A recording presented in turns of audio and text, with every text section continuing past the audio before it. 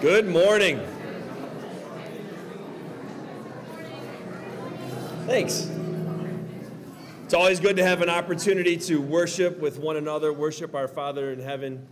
If you're here here in person, we're so thankful that you're here. We're, we're glad for your presence with us. If you're watching the recording online or watching it uh, watching it live, again, just nice to have an opportunity to worship together. If you're visiting with us, we're so thankful that you're here. If you ever have any questions about what we do or why we do it, we ask you to talk to one of the uh, members or talk to one of the leaders. It's always our goal, number one, first and foremost, to, to worship praise our Father in heaven in a way that's pleasing to Him. So, um, a couple of announcements before we start off our worship and prayer. Uh, there's something a brewing on Sunday nights. That was uh, Matt Zimmerman, and he, he said uh, that he could uh, um, credit his mother in law for that. So we're studying the book of Hebrews on Sunday nights. Um, Mark Beeler Sr. has been leading a class for our adults on Sunday evenings that start at 5 o'clock. Uh, so all, adult, all adults are invited to attend that. It goes from 5 to 545. And then there's also uh, different opportunities some of the members are putting on uh, to meet at their houses afterwards. I know, Sarah, you're doing that, and that's appreciated. I, I don't know if other folks are going out to eat, but just an awesome time to, to get together on Sunday evenings and continue to study our scripture and then also have time for fellowship while the kiddos, um, teens, and echoing Christ groups are meeting at that same time uh, here. So, uh, again, just want to invite invite everybody. Please join that as you can, um, as you're able to. Also, um, October 8th is our trunk or treat. Uh, always a great time of fellowship. It's, it's nice. Um, I feel like this is the first year where we've really been able to have a lot of these fellowship opportunities that we missed for a couple years because of COVID kind of happening again without restrictions. So again, it's just nice to nice to have time just to spend with one another uh, in fellowship. Uh, all right. So as before we uh, kick off our worship, let's have a prayer together. Our Father, our God, it is always wonderful to be together as a family, Father. Having the opportunity to worship you and praise you and, and please you with that, God. We thank you for this family of believers that meets here. We thank you for its leadership. We thank you for the wisdom that you've provided, Bob and Danny, in, in leading this congregation. And we just we pray that you continue to be with them and provide them with that wisdom. Father, we thank you for all of our members, where many folks are struggling with illnesses, struggling with different things in their lives, and just, Father, help us to be your hands and your feet as we minister to them. Help us, Father, to be lights in this dark world, particularly in this community, and we just we pray that in all things we do things that are pleasing to you and that honor you and glorify you.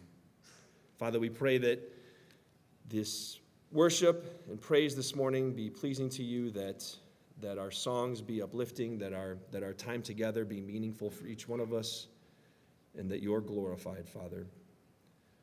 Last but not least, if there's anyone here this morning that has not put on your son in baptism and that's ready to do so, Father, we pray that they would know that there's no better time than now to do that. We love you, God. We thank you so much for the sacrifice of your Son so that we can be here together and, and worship and praise you and know that we have the hope that we have to be with you for eternity. It's your Son's name I pray. Amen.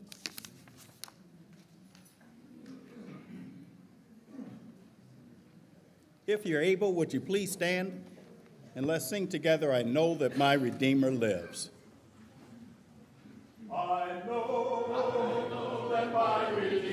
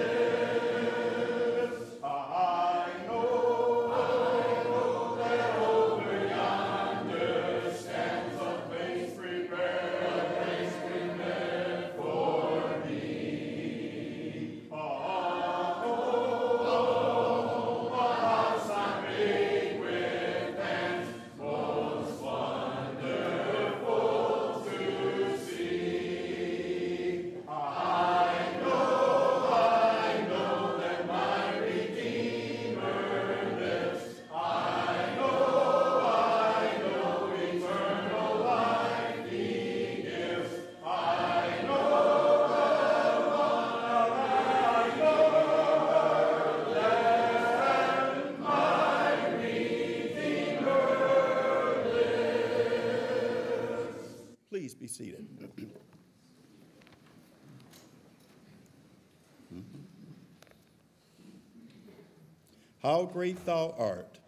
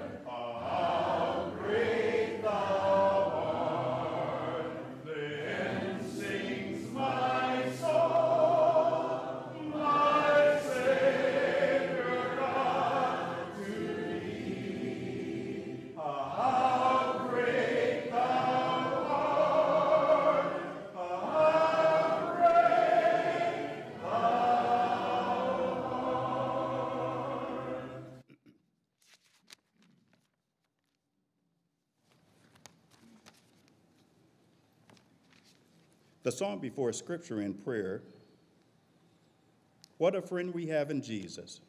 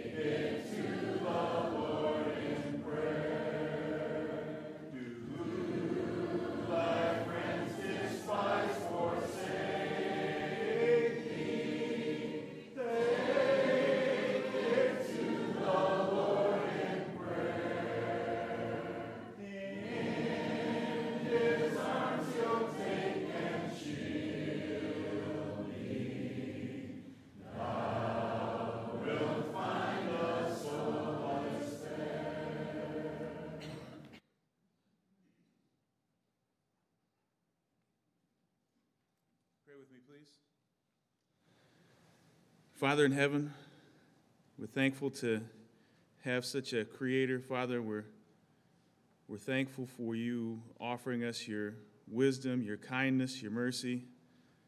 Father, be with us as we go through this worship service. Help us to have our mindset on you. Help us to reflect on your love, your sacrifice for us. Father, we're so thankful that we can come together as a body. We're so thankful for the talents that you've given this congregation, Father. We're thankful for the teachers. We're thankful for the song leaders. We're thankful for those who are able to present your message. Father, we're thankful for everything that you've done for this congregation. Father, thank you for the young families. Help us to be an encouragement to the parents of young children. Father, thank you for your son who's died on the cross for us. We're thankful that we can, we can look to you for refuge. We're thankful that we can come out of the world and, and be a part of this, Father. We know we don't deserve your, your mercy, we don't deserve your grace, but you love us anyways.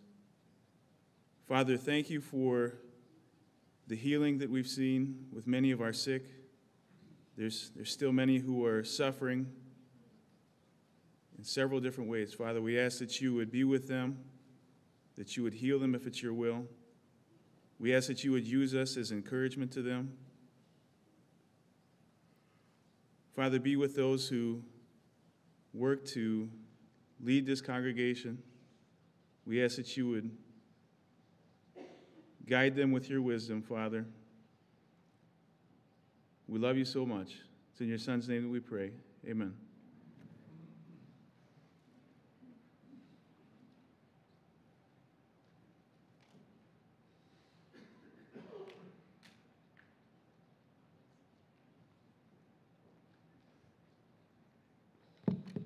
This morning's scripture will be from Matthew chapter 22, verses 15 through 22. And the Pharisees went and plotted how to entangle him in his words. And they sent their disciples to him among with the Herodians, saying, Teacher, we know that you are true and teach the way of God truthfully, and you do not care about anyone's opinion, for you are not swayed by appearances. Tell us then what you think. Is it lawful to pay taxes to Caesar or not? But Jesus, aware of their malice, said, Why put me to the test, you hypocrites? Show me the coin for the tax. And they brought him a denarius. And Jesus said to them, Whose likeness is an inscription is this? They said, Caesar's. Then he said to them, Therefore, render to Caesar what things that are Caesar's, and to God what things that are God's. When they heard it, they marveled, and they left him and went away.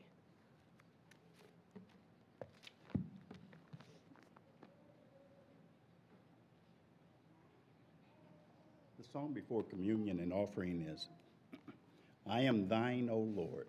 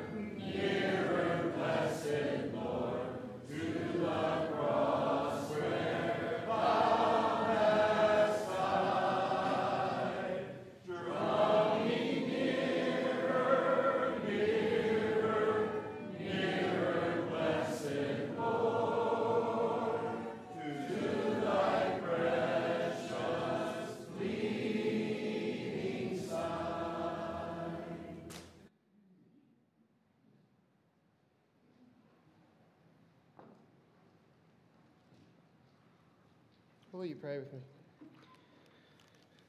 Father in heaven, we're so thankful for today, the blessings of a new day, the blessings to gather to worship your precious name, Father, and be encouraged by one another's presence, Father. I ask that you help us to focus our hearts and our minds on the sacrifice of Jesus, his ultimate sacrifice of dying on the cross for the forgiveness of our sins, dear Lord. We thank you so much for that sacrifice. Help us to remember that each and every day and to share the joy that we have because of Jesus with those that we come in contact with, Father. Please help us to always be thankful for all that you have done for us, Father, as we look forward to being with you in heaven one day. In Jesus' name, amen.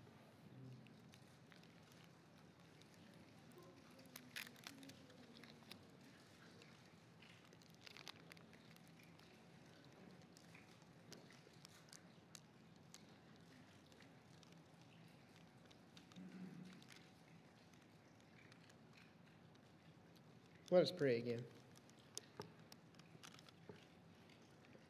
Father, we thank you for your ultimate plan of salvation, for Jesus' blood once and for all, forgiving us of our sins, Father. I ask that you give us the strength to stand firm against the devil, Father, and our temptations that we face every day. Forgive us when we do fall short, Father. Please help us to walk faithfully with you, never letting go of your hand, Father. Forgive us, Father, and give us the strength to do your will and do the things that we know that we should, Father, and resist the temptations when they come. Thank you for your Son. Thank you for loving us. In Jesus' name, amen.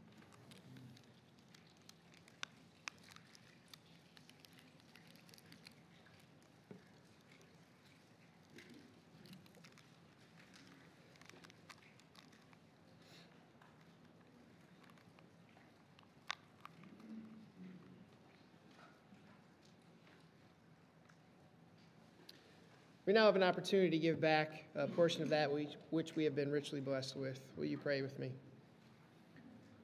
Father, we thank you for all of our many blessings, Father. For what we deserve was death, but because of Jesus, we have eternal life with you in heaven, Father. Help us to reflect on our blessings at this time, Father, and give back a portion of which you have blessed us with, Father, so we may be your hands and feet here and fulfill your mission on earth, Father. And Help us not only to give back financially, but also of our physical and spiritual blessings that we may strengthen, uplift, encourage one another, and be a shining light in this community, Father, and all those that we come in contact with. Help us to share our love because of what you've done for us, Father. Thank you for all of our many blessings. In Jesus' name, amen.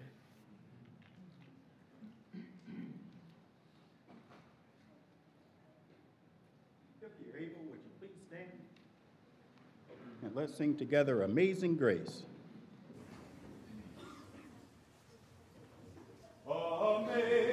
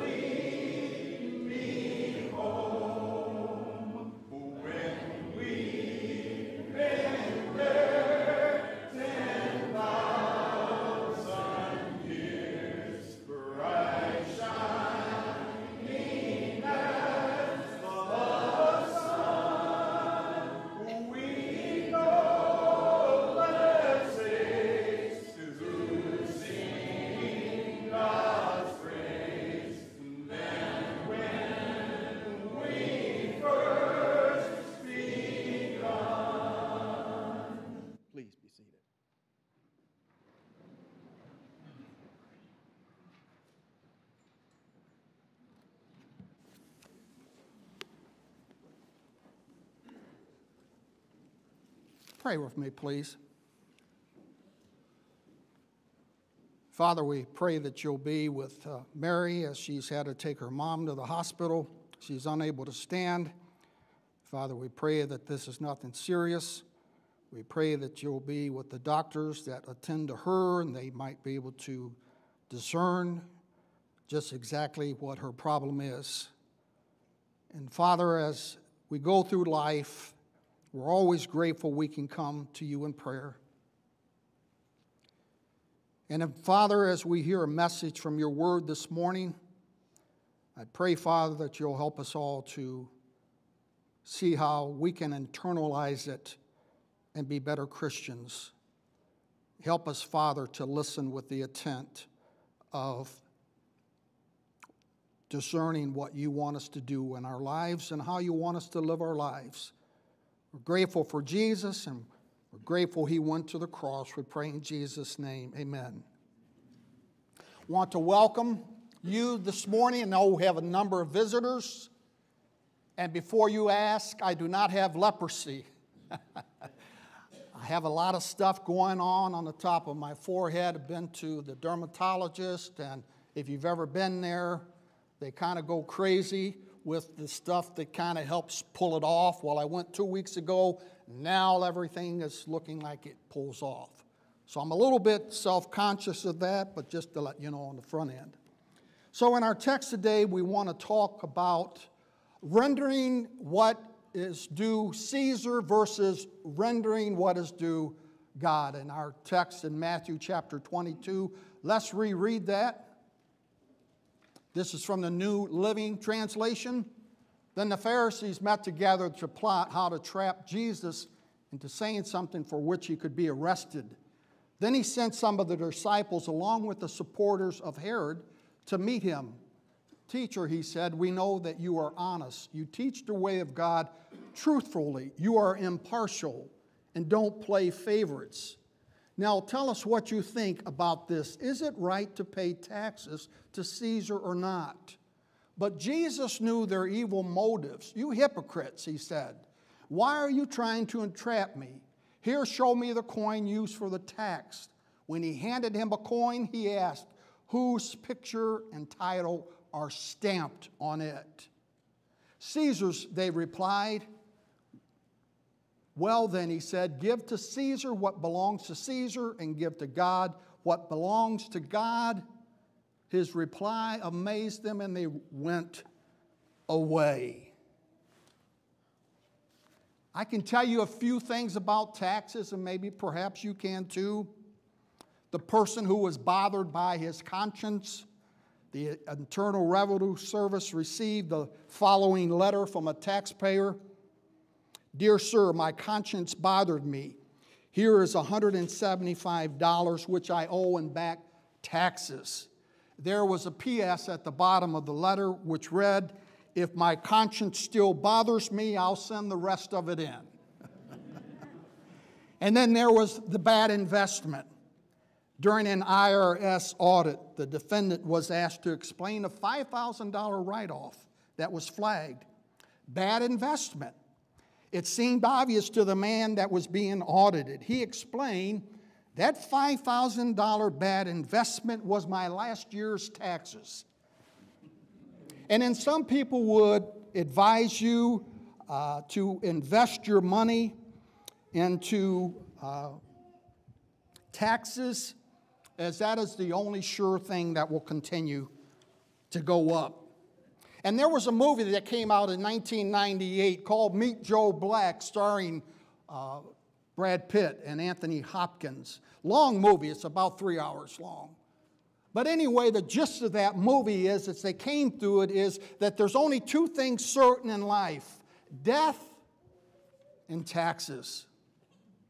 And to a certain degree, that's true. And isn't it funny, simply talking about taxes or money in general kind of causes us to shift maybe rather nervously in our seats. In fact, when we shift in our seats, when someone talks about money, we're just making sure that our wallet is still where it's supposed to be. Believe it or not, I can actually hear some of you think to yourself, thank goodness I didn't bring any money to church today. But on a serious note, this lesson is just as much for me as it is for you because it touches us at the root level of where we live our lives. Who are we to give our allegiance to? Do we give it to Caesar or do we give it to God? It's about our primary loyalties in life, about giving back to God what we owe Him. Giving back, we'll notice in a minute, apodidomai is the Greek word, and it means to give back. Dennis the Menace was walking out of the church on a Sunday morning with his parents.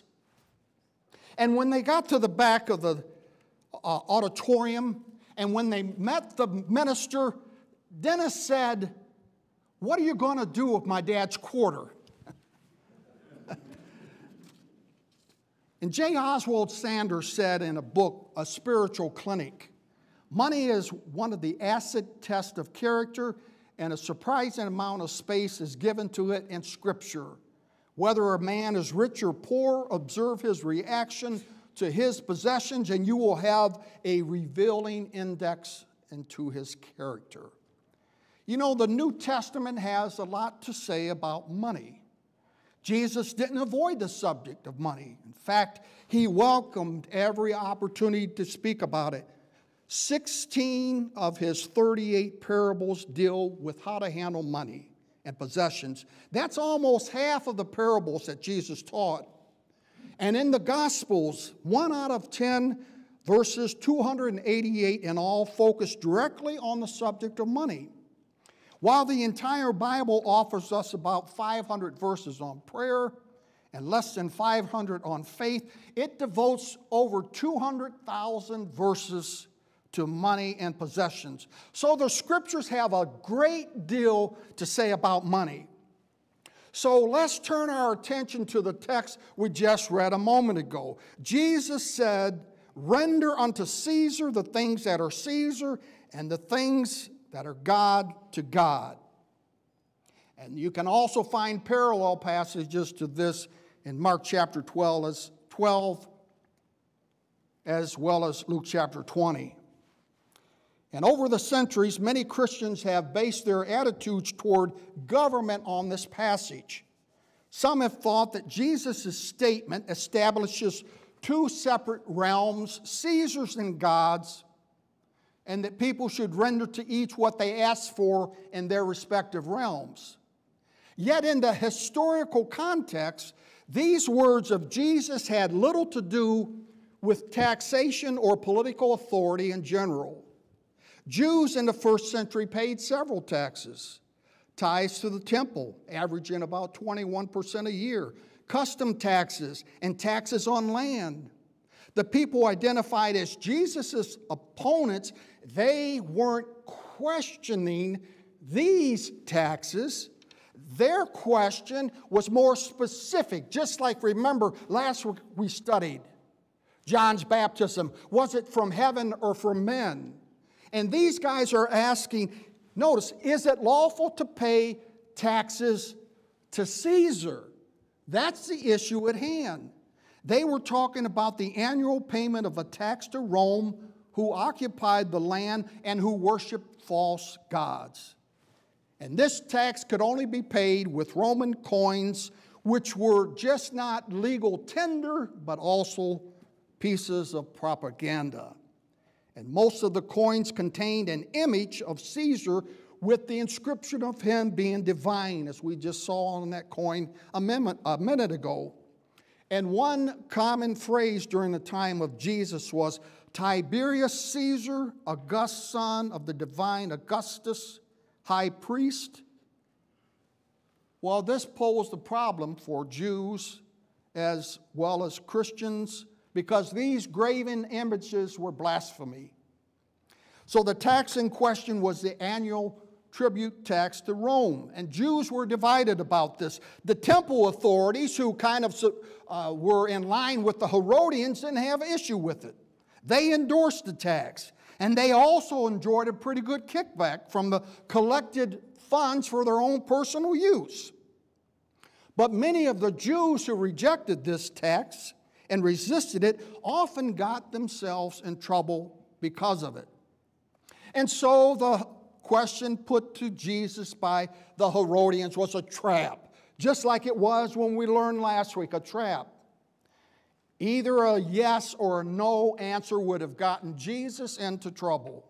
Yes would have discredited him with those who found the imperial domination system reprehensible and unacceptable. No would have caused him to be arrested for being a troublemaker. So notice, just like we learned in last week's story, Jesus avoided the trap with two moves. First, he asked his opponents for a coin. When they produced one, Jesus looked at it and said, Whose image and inscription is on it? It was, of course, Caesar. And the coin bearing Caesar's image gave room for that famous saying that we've looked at render unto Caesar the things that are Caesar, and to God the things that are God's we can see that the testers were puzzled over the meaning of Jesus' word. The word render means to give back. In other words, with a dismissing shrug, Jesus said, It's Caesar's coin. And since it's Caesar's coin, you go ahead and give that coin back to Caesar. But when we come to the second half of that phrase, Jesus says, Give back to God what belongs to God. What a dynamite second half of that that Jesus says. And this is a huge question that we have to grapple with. What belongs to Caesar and what belongs to God? And the Gospels tell us that the Herodians, and the Pharisees had every intention to ensnare Jesus. Now, these guys would not be on the same page ordinarily, but they got on the same page as a team thinking they could entrap Jesus. But the answer that Jesus offers leaves us to figure out what we are to give back. As I mentioned earlier, the word in Give, and Jesus' answer means to give back. Apodidomai is a Greek word. The word was used in the sense of paying back a debt. The word carries the sense of giving that which already belongs to another person. The question that we have to answer and that we have to grapple with is how do we know what things belong to Caesar? Well, they have his image the New Revised Standard on them. The things that belong to Caesar has his very identifiable image as a sign. As an example, in the U.S., you and I, we pledge allegiance to the flag as a symbol of patriotism for undivided loyalty. Loyalty. And how do we know what things belong to God? They have God's icon. They have God's image on them as well. And notice this word icon, image, is used in the Greek translation of the Old Testament as early as Genesis. Genesis chapter 1, verse 26 and 27.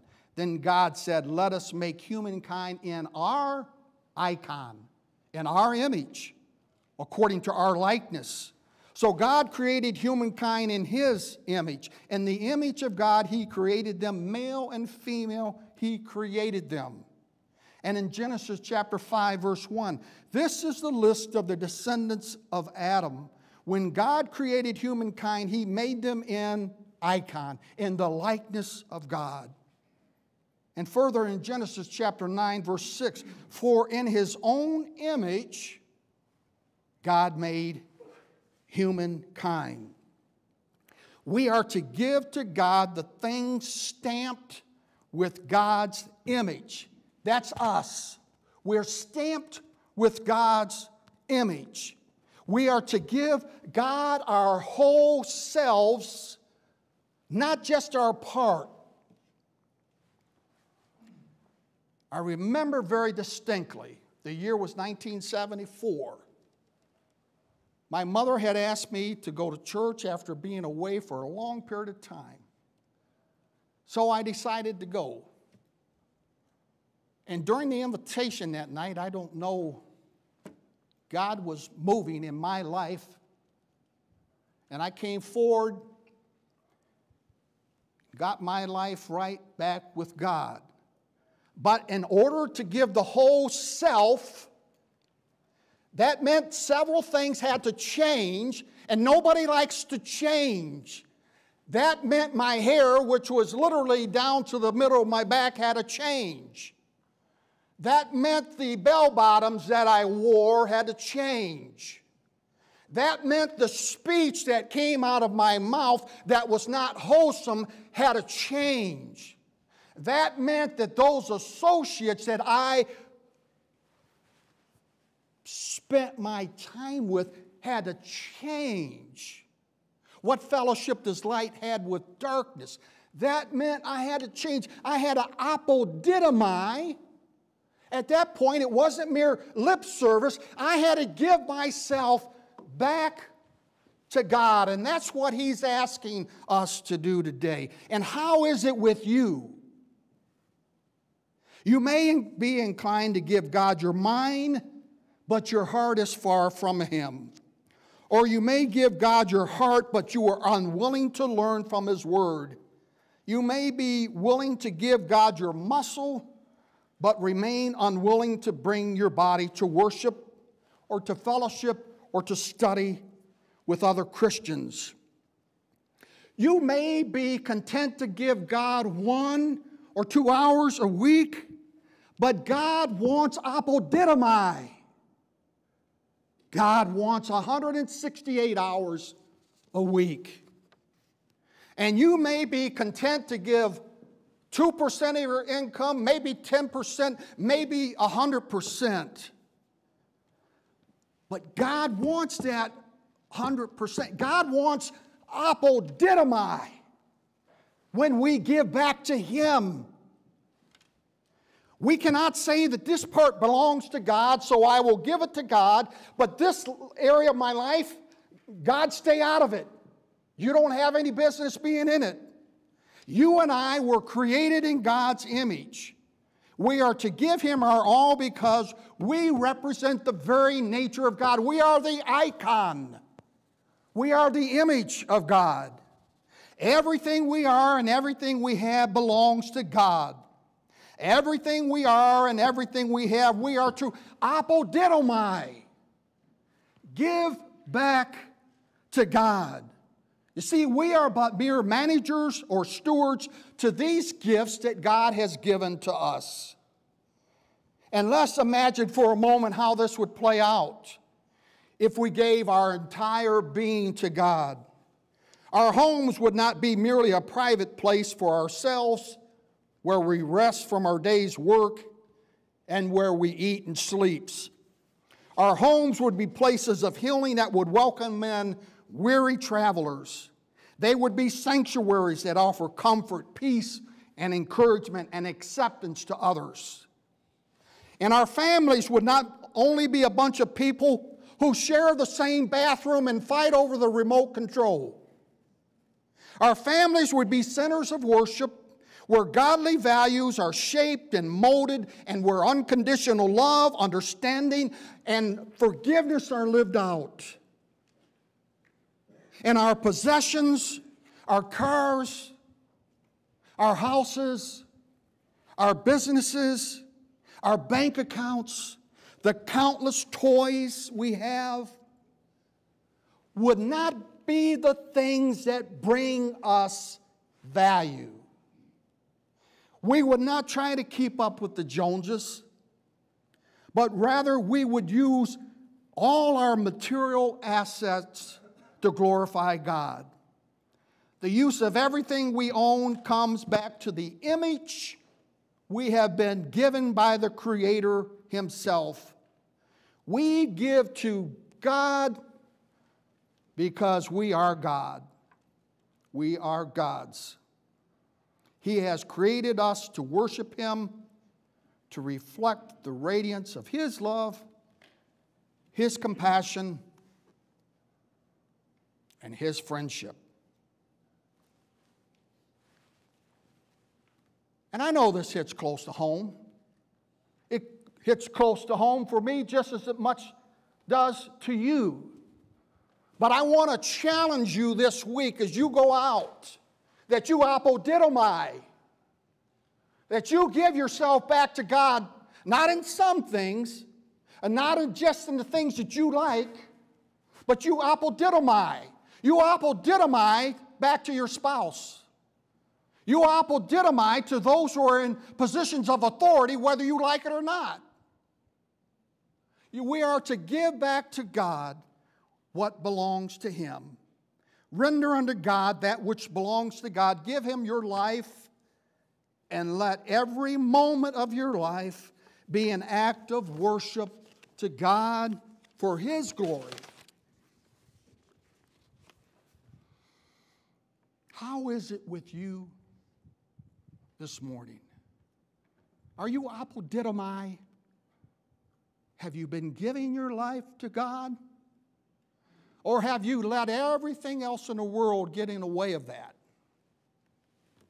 It's easy to do. If you need help giving your life back to God, won't you come this morning through faith, repentance, confession, being immersed in that watery grave of baptism so you can start anew to give your life back to God? If you have a need, won't you come right now as we stand and as we sing? Standing on the promises of Christ my King, through eternal ages let his praises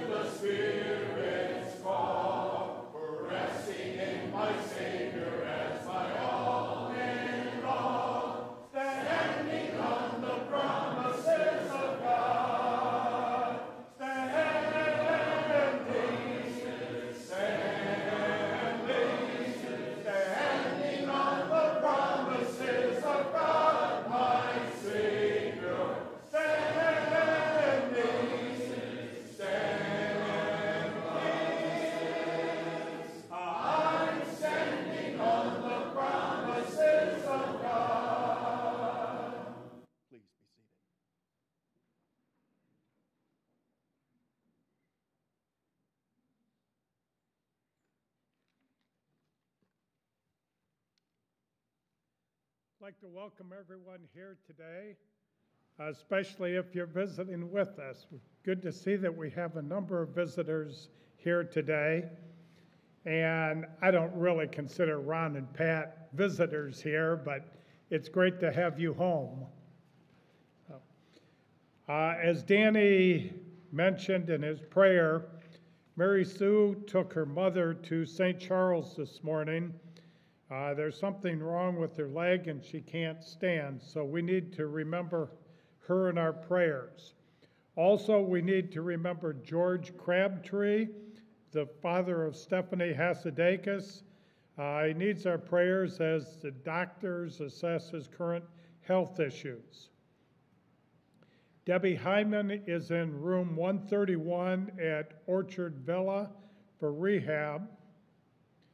Jasper Lucas is responding favorably to his cancer treatments. It's good to see Pay, Kay Payne here today. Uh, she's at Orchard or Landings of Oregon in room 107. She does appreciate visits and cards. There's a long list of others in the bulletin that need our prayers, so if you haven't picked up one of those, please do so.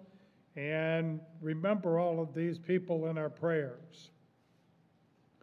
There's a card in the back from Debbie Jeffers that reads, I want to thank you all so much for your prayers, cards, calls, and texts during my knee surgery.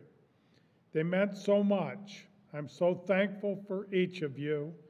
Thank you, Debbie Jeffers.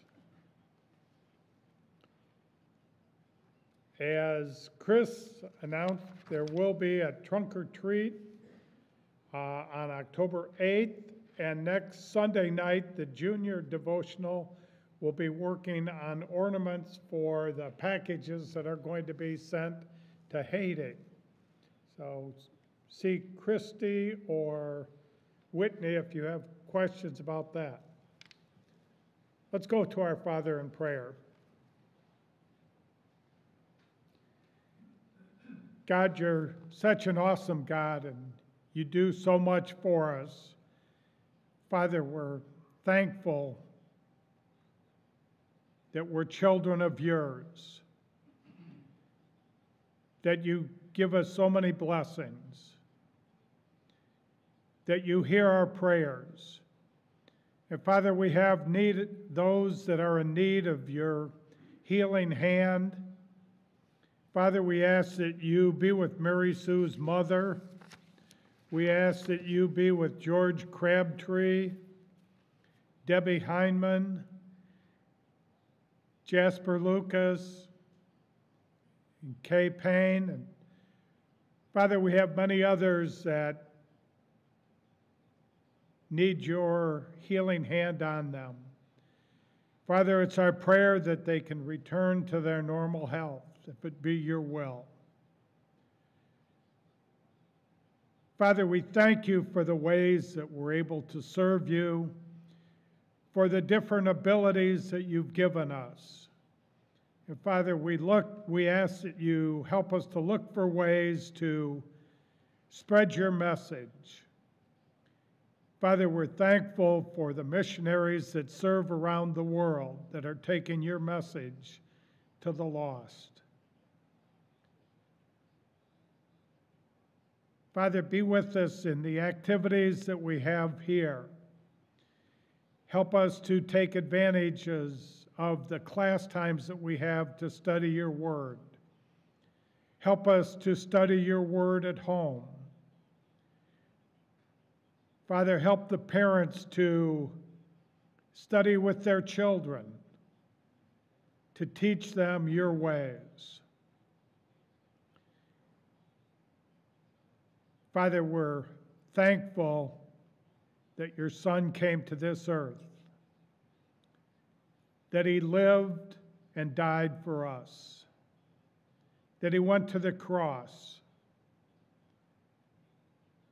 Father, we think of the suffering and the shame that he endured for each and every one of us. Father, help us to remember that every day of our lives. Help us to live each day the way you would want us to live. Help us to show your love to the people around us. Father, it's through your Son's name that we pray. Amen. And please now stand for our closing song.